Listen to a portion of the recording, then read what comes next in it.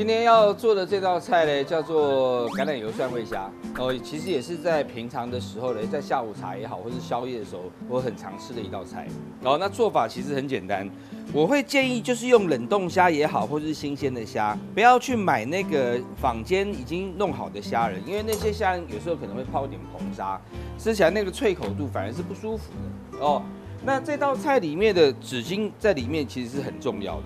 我们现在把它切开来之后呢，我们要把里面的肠泥拿掉。那很多人的习惯性会把肠泥拿的时候，它会怎么样？它会放到水里面去洗。那其实虾子的构造很有趣，你如果放到水里面去洗，它一旦吸了水之后呢，那个虾基本上脆度就不好了。哦，接下来要做的这个部分是最重要的。哦，拿个纸巾。哦，大概是两张左右啦。那你可以把虾子全部放在这纸巾上面，一只一只排列好。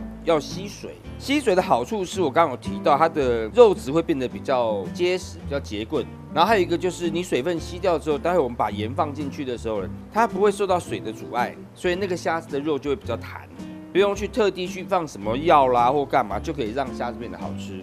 很多时候少了这个步骤的时候，你会发现就是，哎，奇怪，为什么我自己做出来的，比如说滑蛋虾仁呐，或任何的虾都不是很脆口，或是很好吃？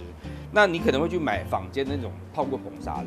那泡过硼砂有一个很有趣的问题是，它有脆度，但是它的什么？它少了那个入味的程度哦，所以就拿起来就像卷寿司一样，你把它整个卷起来，让虾子跟厨房纸巾都均匀的粘在一起，那你就可以稍微把它按压一下，就可以把里面的水分全部都擦掉了。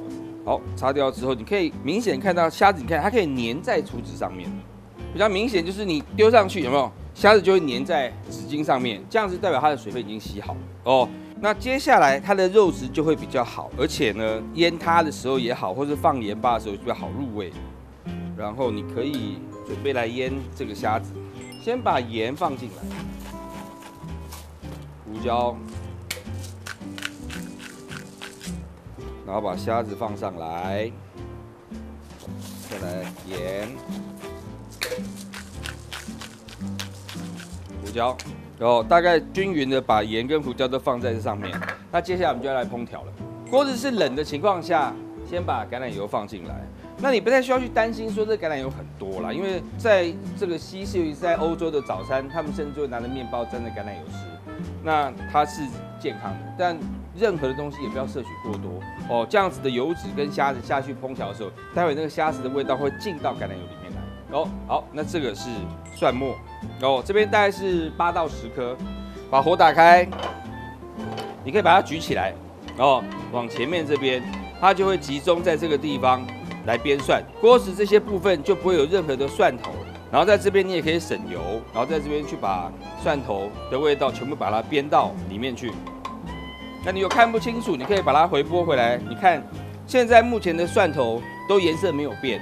它一旦开始颜色变了，就代表蒜头水分已经到了这个油里面去，速度就要加快。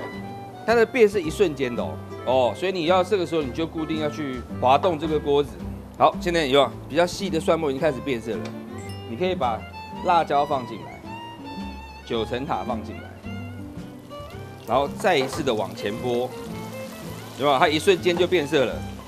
这时候把虾子拨进来，锅子先关火，让这个蒜。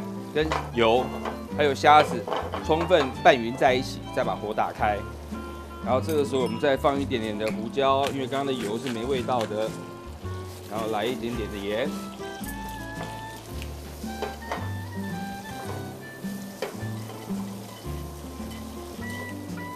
这时候香气是很足的啦。那你待会吃到的时候，每一只虾子都很脆口，因为刚刚已经把水分给吸掉了。那现在就是眼睛盯着每一只虾都一定要熟，然后蒜不要焦哦。如果觉得说啊有点怕蒜焦，就移到旁边来，在这个地方拌也可以。好，眼睛盯着每一只虾都熟了，好，就可以把火关掉了。很欧系的一道菜，那会布满很多的蒜酥跟橄榄油，也是因为这些橄榄油跟蒜酥让它变得好吃。那你可以准备大概两三片法国面包。那待会吃的时候，你就可以用它沾着蒜头跟虾子试试看。好，五月花厨房纸巾，超导三 D 吸油网，吸油吸水好吸力，我真心推荐。